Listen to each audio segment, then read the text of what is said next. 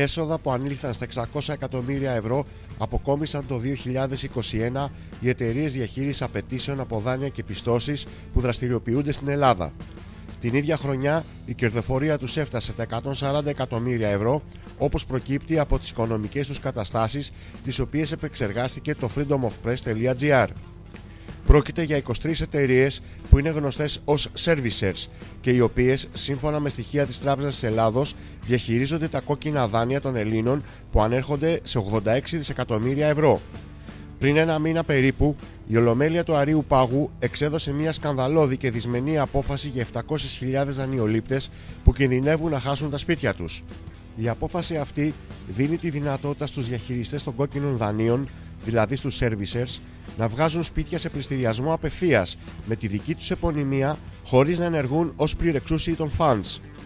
Η εξέλιξη αυτή αναμένεται να ευνοήσει την ήδη μεγάλη κερδοφορία των servicers, που σε ποσοστό άνω το 90% αφορά μόλις τρεις εταιρείες, τη Σύντρου Μελάς, Sepal και Do Value Greece. Η Do Value Greece διαχειρίζεται κόκκινα δάνεια αξίας 33 δισεκατομμυρίων ευρώ. Είναι θυγατρική κατά 80% της Ιταλικής Do Value SPA, η οποία είναι από τις μεγαλύτερες εταιρείες διαχείρισης δανειακών απαιτήσεων στη Νότια Ευρώπη, καθώς διαχειρίζεται κόκκινα δάνεια σε Ιταλία, Ισπανία, Πορτογαλία, Ελλάδα και Κύπρο αξίας 150 δισεκατομμυρίων ευρώ. Το ελληνικό παράρτημα της Do Value συνεργάζεται με την τράπεζα Eurobank, η οποία ήταν η μητρική της μέχρι να εξαγοραστεί από τους Ιταλούς το 2019. Ο κύκλος εργασιών της εταιρείας για το 2021 ανήλθε στα 175 εκατομμύρια ευρώ και τα κέρδη της στα 55,7 εκατομμύρια ευρώ.